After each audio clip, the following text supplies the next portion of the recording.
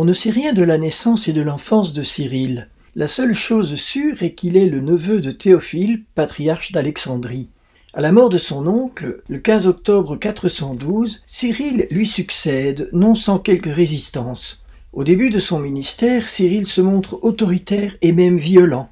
Il reprend à son compte l'inimitié qui opposait son oncle Théophile à Saint Jean Chrysostome, qui s'était disputé à Constantinople en 403. Cette inimitié le met dans une position schismatique à l'égard du reste de la chrétienté. Il refuse farouchement de reconnaître la sainteté de Jean Chrysostome et donc de l'inscrire sur les diptyques sacrés. On peut donc dire que les débuts de la vie épiscopale de Cyril sont loin de la sainteté. Voilà quelque chose qui doit nous donner de l'espérance pour notre propre cheminement de sainteté. On ne naît pas saint, on le devient.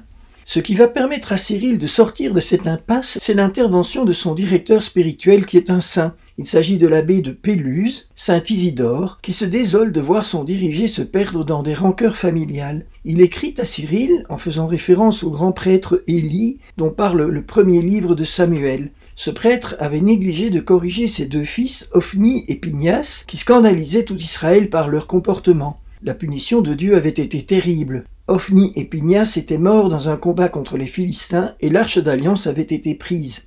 Saint Isidore écrit donc à Cyril Si je suis votre père, comme vous le dites, entendez ici père spirituel, je dois craindre d'attirer sur moi le châtiment d'Élie, si terriblement puni pour avoir négligé la correction de ses enfants. Faites cesser ces querelles. Ne cherchez pas plus longtemps la vengeance d'une injure privée et domestique. Ne la faites pas peser sur l'Église. Fin.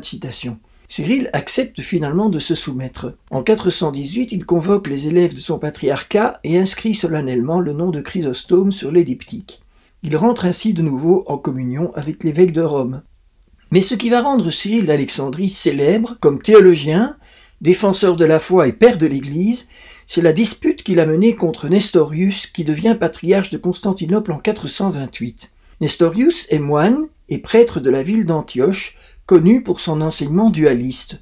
Sous des dehors austères, Nestorius cache un esprit faux et chicaneur, et comme nous le verrons dans la suite de cette histoire, un orgueil indomptable. Arrivé sur le siège de Constantinople, il se met à enseigner avec force une hérésie dualiste qui a pris pour nom nestorianisme. Cette hérésie prétend qu'il y a deux personnes en Jésus-Christ, celle de Dieu et celle de l'homme. Selon Nestorius, dans son incarnation, le Fils de Dieu ne s'est pas uni à la nature humaine, il l'a seulement prise comme un vêtement. En conséquence, toujours, selon Nestorius, la Vierge Marie n'est pas mère de Dieu, elle est seulement mère de l'homme Jésus ou mère du Christ, dans une expression qu'il a proposée pour tenter de concilier ses opposants. Il affirme donc haut et fort Je refuse de voir un Dieu formé dans le sein d'une femme. L'enseignement de Nestorius commence par scandaliser le peuple de Dieu, très attaché au titre de mère de Dieu donné à Marie en 325 par un prédécesseur de Cyril, l'évêque Alexandre d'Alexandrie, et confirmé indirectement par le concile de Constantinople en 381, quand il a inclus dans le credo la phrase Jésus-Christ, Fils unique de Dieu, vrai Dieu né du vrai Dieu, par l'Esprit Saint a pris chair de la Vierge Marie et s'est fait homme. Mais les théologiens s'emparent aussi de l'affaire. À leur tête, Cyril d'Alexandrie, qui avait déjà en 420 protesté contre ceux, je cite, qui divisent le Christ en deux et veulent faire de lui un homme uni au Verbe par une simple union morale. Dès 429, il affirme dans une homélie pascale Ce n'est pas un homme ordinaire que Marie a enfanté, c'est le Fils de Dieu fait homme.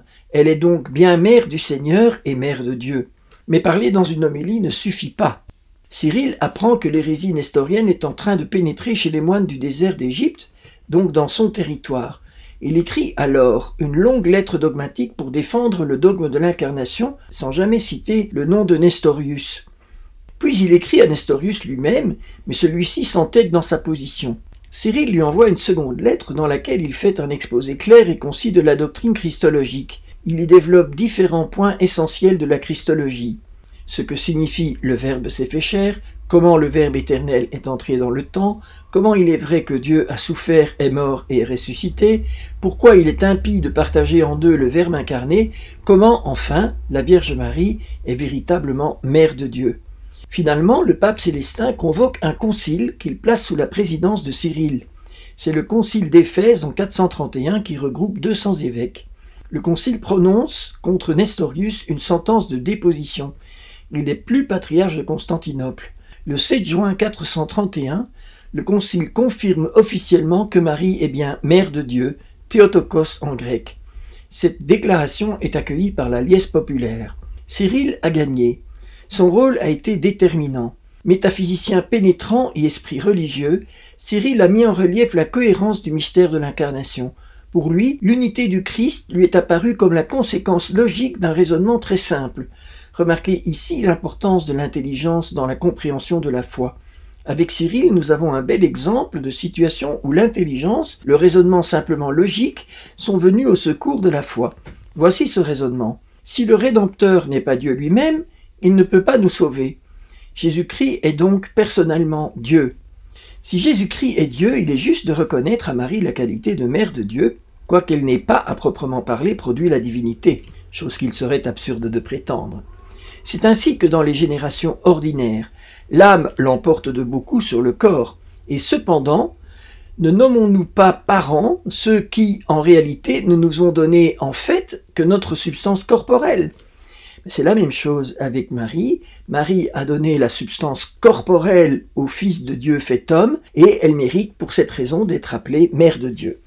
Saint Cyril d'Alexandrie est mort probablement le 27 juin 444. Il est père de l'Église et docteur de l'Église.